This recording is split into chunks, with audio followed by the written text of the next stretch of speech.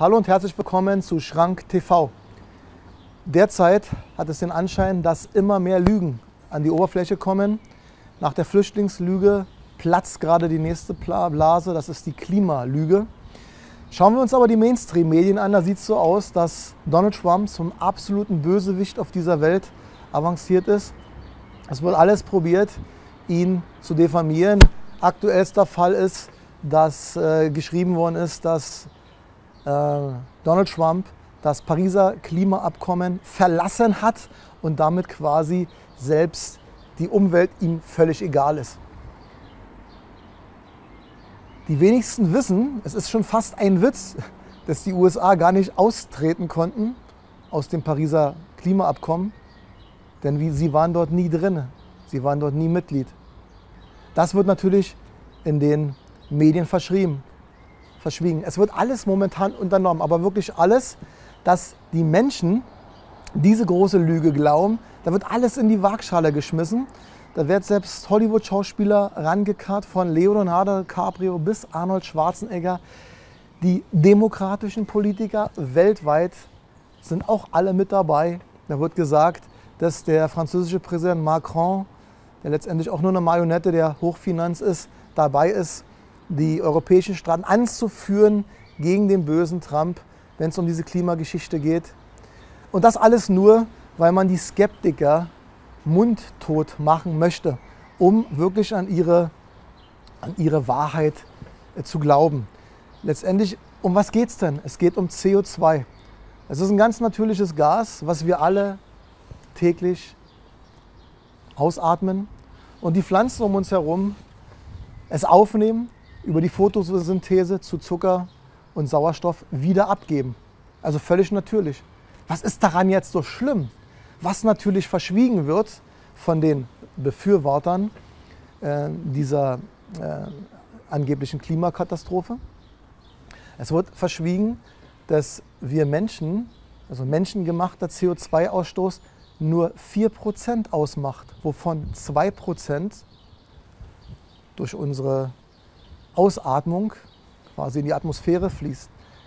Und die restlichen 96 die werden von den Weltmeeren, von Vulkanen und von der Natur abgegeben. Also ein ganz, ganz geringer Anteil ist Tatsache nur von uns Menschen. Und wenn wir uns beispielsweise Gärtner angucken, die eine Gärtnerei besitzen, die machen teilweise eins, die erwerben CO2-Generatoren, ähm, die quasi in ihrem Treibhaus den CO2-Anteil um, 4 um, 4, äh, um, um, um das Vierfache circa steigern, damit nämlich die Pflanzen üppiger und schneller wachsen. Das sind aber Punkte, die wahrscheinlich Donald Trump nicht entgangen sind, aber uns einsuggeriert wird, dass es doch angeblich anders sein soll. Und letztendlich müssen wir alle für diesen Wahnsinn zahlen und speziell die Autofahrer. Jeder weiß ja, dass gerade für diesen Umweltschutz, für diese Klimageschichte die Autofahrer zur Kasse gebeten werden. Wenn wir uns aber beispielsweise eine aktuelle Studie anschauen, da gab es eine Energie, also eine Weltenergiekonferenz, die festgestellt haben, dass man muss sich das mal vorstellen, 400 Containerschiffe auf den Weltmeeren so viel CO2 abgeben, wie alle Autos auf der Welt zusammen. Und das sind circa eine Milliarde Autos mittlerweile. Muss man sich mal vorstellen, diese Verhältnismäßigkeit. Und warum ist das so? Weil es ein Riesengeschäft ist. Ein Riesengeschäft. Alleine Deutschland kostet das 50 Milliarden, nicht uns sondern den Steuerzahler. Also nicht Deutschland als Land, sondern letztendlich uns, dem Steuerzahler. Da gibt es Unternehmen, da gibt es Leute wie Al Gore und wie George Soros, die richtig viel Geld damit verdienen. Und deswegen muss diese Lüge standhaft nach oben gehalten werden. Aber es ist so, dass immer mehr, wie gesagt, ans Tageslicht kommt. Aktuelles Beispiel per gestern. Auf meinem YouTube-Kanal haben wir einen zehn Jahre alten Bericht von, vom Spiegel, Spiegel TV der Klimaschwindel hochgeladen, eine 7-Minuten-Sequenz. Die wurde dann auf Facebook, auf meiner Facebook-Seite gepostet. Innerhalb von ein, zwei Stunden waren über 4000 Aufrufe und auf einmal wurde das Video gesperrt, weil Spiegel TV wegen Ur Urheberrechtsverletzung sagte, nee, wollen wir nicht.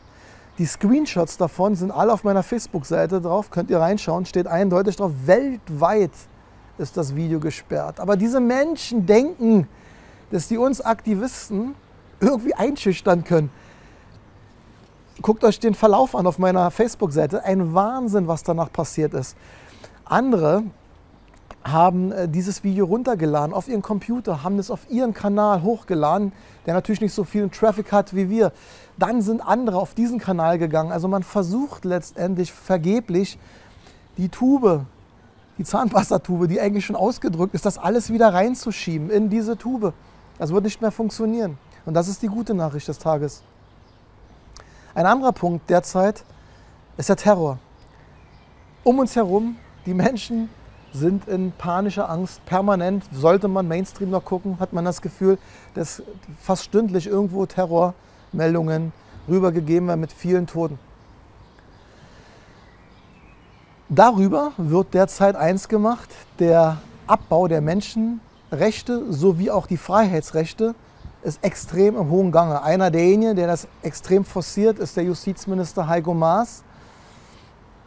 Der versucht mit seinem neuen Internetgesetz genau gegen diese Leute vorzugehen, also wie wir beispielsweise, die Tatsache die Wahrheit sagen, die nach außen hin das System, den Mainstream angreifen.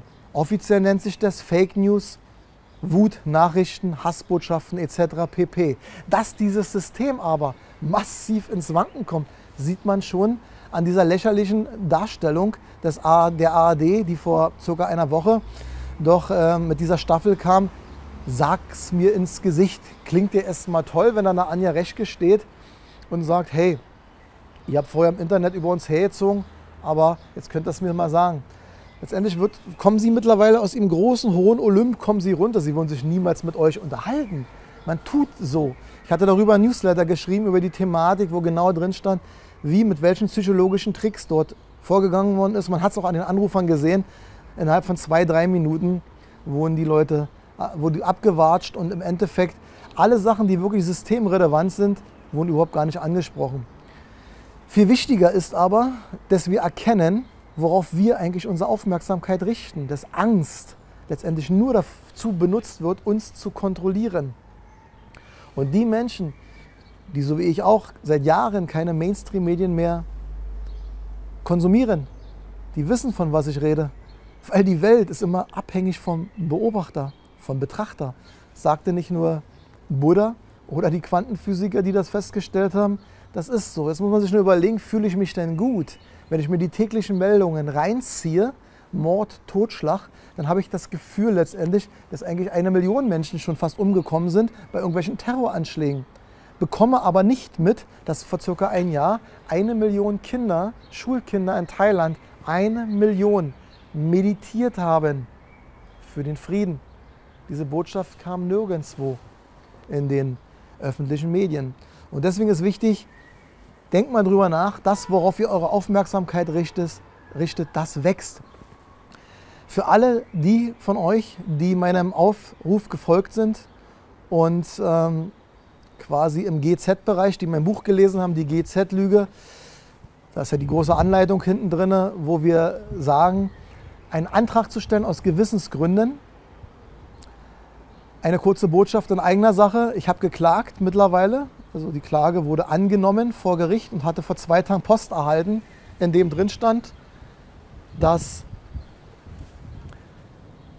die Vollstreckungsstelle, also in meiner Gemeinde, wird angehalten, keine Vollstreckungsmaßnahmen durchzuziehen, solange wie das Verfahren läuft. Und das ist die zweite gute Botschaft, die zeigt, dass es einen Sinn macht, zu klagen. Es macht einen Sinn an alle die, wie gesagt, die ebenfalls diesen Weg gegangen sind. Ihr könnt gerne auf meine Homepage raufgehen, www.macht-steuert-wissen.de. Dort ist der gesamte Plan auch hinten enthalten. Sendung Schrank TV und Schrank TV Talk und auch der Newsletter sind für euch kostenlos, für mich aber mit immensen Kosten verbunden. Wir haben uns bewusst dafür entschieden, dass wir keine Mainstream-Werbung schalten. Das heißt, unsere Videos sind werbefrei. Und ich würde euch bitten, was in der letzten Zeit schon viele gemacht haben, weiterhin unsere, meine journalistische Tätigkeit zu unterstützen.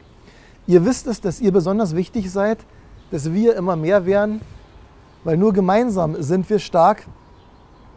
Und deswegen abonniert unseren Kanal, teilt es mit Freunden und Bekannten und denkt immer daran, nur wer gegen den Strom schwimmt, der gelangt zur Quelle. Denn nur tote Fische schwimmen mit dem Strom. Euer Heiko Schrank. Bis demnächst. Vielen Dank an euch, dass ihr diesen Aufkleber, dass ihr dem gefolgt seid.